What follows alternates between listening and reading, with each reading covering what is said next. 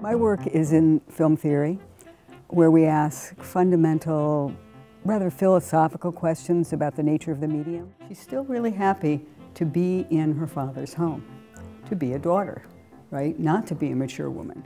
I'm teaching two courses this semester.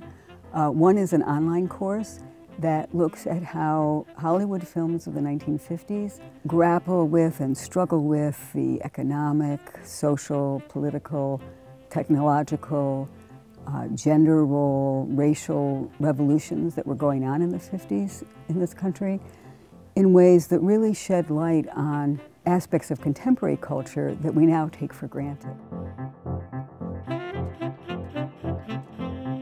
The other course that I'm teaching is called The Art of the Short Film. And the premise of that course is that short films are a unique art form, separate from feature films, and really deserve to be studied in their own right. We're looking at a short film called Forever is Going to Start Tonight.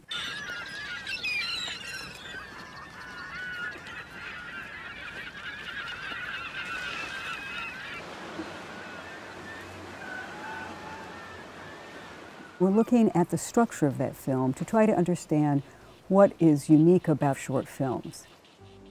It helps to understand the structure of this film by seeing it as a triangle.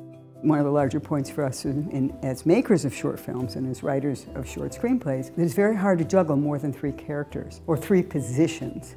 The learning of the facts and the learning of the, you know, the mastering of um, the basic level of material, they do on their own.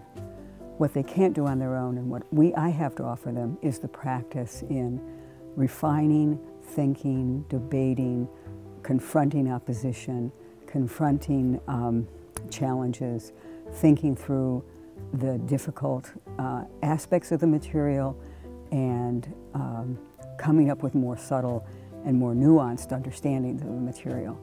And that's a, the, really the practice that can only happen in the classroom. He hasn't connected to it where he is in a while, so I don't know if he's being cruel to the daughter by doing it on purpose by like trying to be indifferent to her. I think it's more mm-hmm. like it's just he's just nothing's connecting really. It's mm-hmm. not a choice. To challenge and to think through the validity of any truth claim that they encounter, no matter how authoritative the source is supposed to be.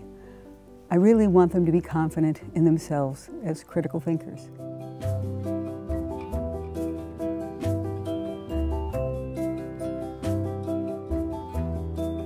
Being in a classroom is an event. You have to be there and you have to live through it.